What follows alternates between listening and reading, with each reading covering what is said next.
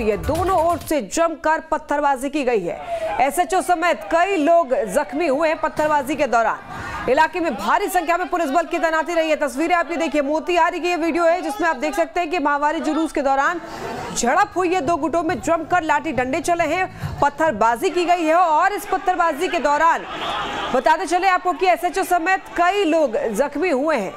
तो बता दें आपको कि भारी पुलिस बल की तैनाती की गई है मोतिहारी में। मोसी और कल्याणपुर में ये बवाल हुआ है। इलाके में भारी संख्या में पुलिस बल की तैनाती की गई है। वीडियो आप देख रहे हैं, मोतिहारी की है। दरपा मेसी और कल्याणपुर में बवाल हुआ है। जुलूस के दौरान बवाल हुआ है। दो गुटों में जम करके लाठी डंडे चले हैं, पत्थरबाजी हुई है। ज़्यादा जानकारी के लिए संवाददाता रंजीत हमारे साथ जुड़ रहे हैं। रंजीत इस मामले में क्या कुछ अपडेट है? माहवारी जुलूस के दौरान झड़प हुई थी।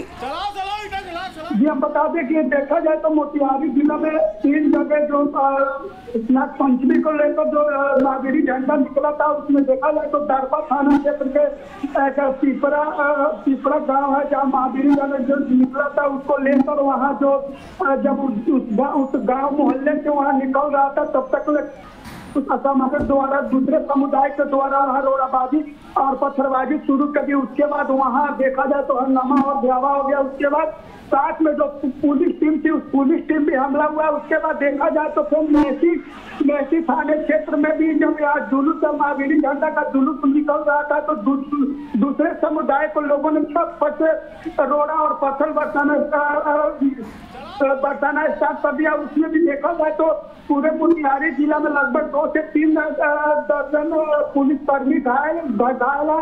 और देखा जाए तो ये जितने तीनों जगह जो घटना हुए है वहाँ पुलिस रंजीत क्या इस मामले में किसी की गिरफ्तारी हुई है अभी तक?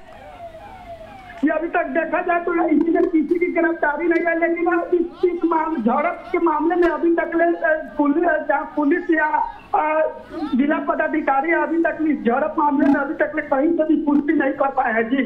ठीक है, रंजीत, बहुत धन्यवाद आपका ज़्यादा जानकारी के लिए।